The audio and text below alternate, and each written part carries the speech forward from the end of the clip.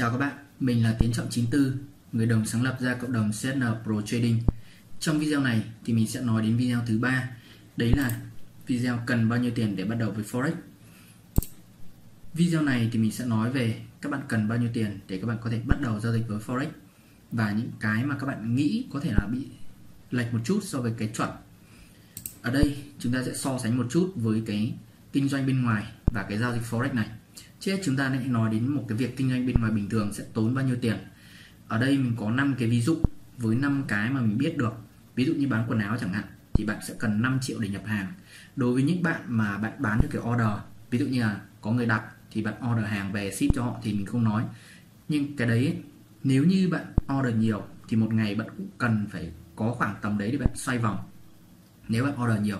Còn nếu với những bạn mà nhập hàng nhập hàng thì quần áo nó có rất là nhiều mẫu. Ví dụ áo của mình như này, nó có cái kiểu như này, màu trắng này, màu xanh này, màu đỏ này, vân vân. Nó có rất nhiều màu, nhiều size. Chính vì thế, bạn cần phải khoảng tầm 5 triệu để bạn bắt đầu nhập hàng về. Đấy là nếu bạn làm như thế. Cái ngành thứ hai, đấy là ngành dropship. Có thể với những bạn mà quen những cái thuật ngữ ở trên MMO tức là kiếm tiền online, thì các bạn biết cái dropship này là một trong những ngành kiếm tiền ở trên online rất là lớn và nó rất là lâu đời rồi. Nếu như bạn chưa biết dropship là gì, thì các bạn có thể xem video ở phía trên. Mình có một kênh chuyên về dropship, kiếm tiền là bán hàng. Và chúng ta làm theo một cái kiểu, khi khách đặt hàng thì chúng ta ship hàng đi cho họ. Và chúng ta nhận tiền chênh ở giữa. Nhưng bạn cũng cần phải có tiền vốn để bạn bắt đầu, chứ không phải là không cần vốn nhé cần vốn để bắt đầu. Nhưng cái này nó ít hơn một chút. Các bạn cần khoảng 2 triệu vốn để ship hàng. Nhưng nó sẽ hơi tù một chút. Đấy là tiền bạn không nhận được ngay đâu mà phải sau 21 ngày đối với những người mới bắt đầu. Sau 21 ngày bạn mới nhận được khoản tiền đấy. Tức là trong khoảng thời gian đấy bạn phải bỏ tiền ra để bạn ship hàng trước. Bạn đưa hàng đi trước. 21 ngày sau hoặc nhanh hơn một chút thì tầm 5-10 ngày là bạn nhận được tiền xoay vòng xoay vòng xoay vòng. Đó. Nhưng mà ở forex này thì nó nhanh. Chỉ cần chốt lệnh cái là bạn rút được tiền ngay. Nó khác ở đấy. Về những quyền trà chanh, như các bạn biết thì trong năm nay nó nở rộ ra cái trà chanh này rất là nhiều. Từng ngõ ngách đều có. Và cái nhượng quyền trà chanh này đối với những thương hiệu bình thường thì mình biết là khoảng tầm 60 triệu. Mình có hỏi một vài thương hiệu rồi, bởi vì mình cũng có một vài người bạn muốn làm cái này, thì đợt mình có hỏi là khoảng tầm 60 triệu. Tầm 60 triệu này thì bạn mới chỉ là có được cái nhượng quyền này, có được cái sự setup của họ này, chi phí nhân viên các bạn chưa tính. Những cái sau sau đấy, ví dụ thuê nhà các kiểu bạn cũng chưa được tính vào đây, thì mình đoán là phải tầm 100 triệu. Khoảng đó. Tiếp theo là những quyền trà sữa hoặc cà phê, nó phải khoảng tầm 500 triệu một người bạn của mình có làm về những cái này. Anh ấy mở một cái quán chuỗi trà sữa. Anh ấy lấy nhượng quyền về và anh ấy làm những cái quán ở những cái địa điểm khác nhau. Thì anh phải cần tầm 300 đến 500 triệu. Có dù mình làm một cái quán cà phê ở một góc của thành phố thôi nhá. Một góc thôi, không phải trung tâm đâu. Một góc của thành phố. Và cái đấy nó gì ở thành phố thôi. Nhưng mà nó cũng phải mất tầm 300 triệu rồi. Đấy là một quán cà phê thôi. Và khi bạn đầu tư như thế, nó có rất là nhiều yếu tố bạn không thể kiểm soát được. Ví dụ như là lượng khách vào ra như thế nào, chúng ta có thu được tiền về không, mà cái bạn tốn cứng, tốn chắc chắn, đấy là cái tiền để bạn mua nhượng quyền là cái thứ nhất. Cái thứ hai, bạn sẽ tốn chắc chắn, đấy là tiền thuê nhân công, thuê người làm, giúp các kiểu. Và cái thứ ba, bạn sẽ tốn, đấy là cái tiền thuê nhà. Ba, cái này là chi phí cứng. Và trong bất kỳ ngành kinh doanh nào, chi phí cứng của bạn mà quá nhiều thì bạn chết. Trong bất kỳ ngành kinh doanh nào, nếu mà chi phí cứng của bạn quá nhiều thì bạn chắc chắn sẽ chết tiền của bạn là có giới hạn và bạn lại có chi phí cứng quá nhiều thì bạn sẽ chết sớm thôi. Đấy là điều chắc chắn. Về cái cuối cùng, đấy là xe đẩy bán hàng rong thì khoảng tầm 10 triệu. Một cái xe đẩy mà bạn hay thấy người ta đẩy đi để bán những cái hạt hàng rong, ví dụ như là xôi, bánh mì, vân vân đấy những cái đấy thì nó sẽ tốn khoảng tầm 10 triệu của bạn để bạn làm được. Đấy là những cái mà bạn có thể làm bên ngoài với số vốn tầm này. Vậy thì forex sẽ cần bao nhiêu tiền để các bạn có thể bắt đầu được? Theo mình thấy thì các bạn có thể khởi đầu với 100 đô, tức là khoảng 2 triệu mấy đấy. Tỷ giá thì tùy, có thể là tỷ giá 23 nghìn thì là 2 triệu 3 là các bạn có thể bắt đầu được. Vậy con số này có lớn không? Mình nghĩ con số này rất là nhỏ. Đối với một người đi làm thì các bạn đi làm mỗi tháng các bạn lương mình đoán là phải tầm 5 triệu trở lên. 5 triệu trở lên đấy thì các bạn sau khi phân bổ chi tiêu các thứ, ít ra các bạn cũng dành ra được 500 nghìn đến 1 triệu. Đấy là ít. Vậy thì nếu mà 500 nghìn bạn sẽ có 4 tháng chỉ 4 tháng thôi mà.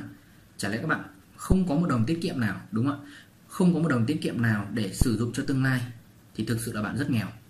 Cái quan trọng không phải bạn kiếm được bao nhiêu đâu nhá, mà là bạn giữ được bao nhiêu và dùng số tiền đấy làm cái gì nó mới quyết định là bạn nghèo hay không. Thực sự là bạn không có một khoản tiết kiệm nào để đề phòng rủi ro, để đầu tư cho tương lai thì thực sự là bạn rất nghèo, kể cả bạn kiếm bao nhiêu. Có những người bạn của mình đi làm Samsung Canon từ rất sớm, họ kiếm được 20 triệu từ thời sinh viên và họ không để ra được một đồng nào họ còn vay nợ nữa. Thực sự như thế là rất nghèo. Thực sự luôn, họ không có được một nguồn thu nhập khác. Họ chỉ có một nguồn duy nhất, đấy là Samsung Canon, nguồn đi làm. Họ mà bị đuổi việc là thôi. Đấy là lý do vì sao bạn nên dành ít nhất một ít tiền trong một tháng của bạn để làm và để đầu tư cho những cái lĩnh vực khác để tạo ra dòng tiền cho bạn. Cái thứ hai, bạn có thể bắt đầu với con số 0 giao dịch tài khoản demo. Tài khoản demo này, như mình nói trong cái video trước, thì nó là một cái tài khoản ví dụ của sàn nó tạo ra cho bạn bạn có thể để bao nhiêu điểm được? 100 đô 5.000 đô 10.000 đô, vân vân, tùy con số bạn thích. Sàn nó cho bạn giao dịch dựa theo cái con số trực tiếp của nó và có lãi, có lỗ, nhìn y như thật. Nhưng nó khác một cái, đấy là cảm xúc của bạn. Đấy là lý do vì sao mà mình có một cái chú ý ở đây. Đấy là chỉ nên tham gia với số tiền nhàn rỗi và bạn sẵn sàng mất tất cả. Tại sao lại vậy? Bởi vì trong đầu tư luôn luôn có rủi ro không có cái nào đầu tư là 100% chắc thắng cả. Bởi vì nếu mà cái gì cũng có 100% chắc thắng thì người ta đập nhà đập cửa vay nợ các kiểu để họ vào giàu hết rồi. Đấy là điều không có đâu. Chính vì thế các bạn chỉ nên dùng số tiền nhàn rỗi. Tiền nhàn rỗi là tiền bạn để đấy bạn không dùng trong một khoảng thời gian dài cũng được. Và thậm chí bạn sẵn sàng mất tất cả. Bạn phải xem xem cái số tiền đấy nó quá lớn hay không. Khi bạn cho vào ấy, mà bạn cảm giác là ở ừ, nếu mà mất cái số tiền này mà mình cảm thấy là có vấn đề đấy, cuộc sống của mình sẽ có vấn đề, trả nợ lâu đấy, khó đấy. Thì bạn đừng cho số tiền đấy bớt lại, bớt đến khi nào bạn cảm thấy, ơ, mất mất thì thôi, mất thì thôi, ít thôi mà. Ví dụ bạn có được vài triệu thì bạn mất một, hai chục thì bạn thấy ơi vài chục mà, không sao. Thì cái đấy là cái con số mà bạn cảm thấy thoải mái, thì bạn nên cho vào số đấy thôi. Đừng quá tham, hãy bắt đầu với con số nhỏ thôi. Cái tiếp theo, không nên vay nợ, cầm cố nhà cửa hay xe cộ để đưa vào thị trường bởi vì bạn sẽ có khả năng cao mất tất cả. Khi mà tâm lý của bạn bị áp lực thì cái đầu óc của bạn nó mất sáng suốt. Khi mà đầu óc của bạn mất sáng suốt thì cái cảm xúc nó đi lên. Cảm xúc đi lên ấy, thì cái IQ của bạn đi xuống. Và lúc đấy chúng ta cứ ừ, ấn vào lệnh ấn vào lệnh. Chết rồi cái lệnh này đang thua lỗ rồi mình phải cắt cắt ngay. Vào lệnh gấp đôi để gỡ lại. Nó giống như con bạc vậy. Bạn thua bạn vào gấp đôi vào gấp đôi vào gấp đôi để bạn gỡ lại cái phần lỗ trước. Và đấy là lý do vì sao bạn mất hết nhưng mà khi bạn thoải mái ơi cái này lỗ tí mà quản lý vốn có kế hoạch giao dịch. Ừ, lỗ này là trong kế hoạch cắt lỗ. Hoặc là cái lệnh này ơ lỗ này, lỗ này là trong một quá trình. Tỷ lệ này là mình đã biết sẵn rồi. Lỗ này là buộc phải có. Nếu nó không có thì nó mới là có vấn đề.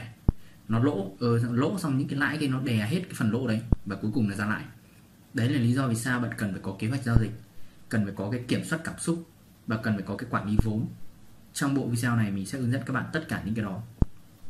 Vậy thì vốn lấy ở đâu? Đây là những cái mình gợi ý cho các bạn. Nếu như bạn là người đang đi làm, thì bạn có thể tiết kiệm một chút mỗi tháng để khởi đầu công việc này. Có thể bớt ăn tiêu, bớt nhậu lại một chút. Nếu bạn là sinh viên, đi làm thêm hoặc là trích một khoản nhỏ trong tiền được bố mẹ gửi lên để làm vốn. Trước đây mình thế mà, mình đi làm thêm, mình trích tiền bố mẹ gửi lên cho mình để mình làm vốn, để mình kinh doanh và mình đầu tư từ thời sinh viên luôn mất thì mất nhỏ. Và nếu mà được lợi được lợi rất lớn, đấy là kiến thức, đấy là kinh nghiệm, đấy là những cái lỗ của mình đã từng trải qua, nó rất là ít thôi. Nếu bạn là người đang làm kiếm tiền với MMO tức là kiếm tiền online, thì bạn hãy trích một chút tiền thôi. Một chút cũng được, từ cái ngành chính của bạn sang bên này. Thử xem có hợp không? Hợp thì ok, lại ngon, lại có một cái mới, đúng không? Còn nếu không hợp thôi, làm ngành cũ. Đấy là cơ hội của chúng ta mà. Thử không mất gì cả. Mất thì mất nhỏ thôi. Cái thứ tư, nếu bạn đang thất nghiệp thì đây là lời khuyên của mình dành cho bạn. Bạn không nên làm cái này. Bạn nên đi tìm việc. Và đây không phải cái dành cho bạn lúc này. Còn nếu bạn vẫn muốn kiếm tiền từ đây, thì sẽ có những cái cách bạn kiếm tiền được từ đây mà không cần vốn. Sẽ có. Nhưng không phải trong video này. Không phải trong bộ video free này. Mình sẽ làm những cái video khác. Cảm ơn các bạn đã theo dõi video này. Và nhớ like, subscribe, comment xuống ý kiến của bạn để cho mình biết, mình cải thiện được những cái video của mình. Và đừng quên chia sẻ cho bạn bè nhé cảm ơn các bạn đã theo dõi video. Hẹn gặp lại các bạn ở video tiếp theo. Chào các bạn.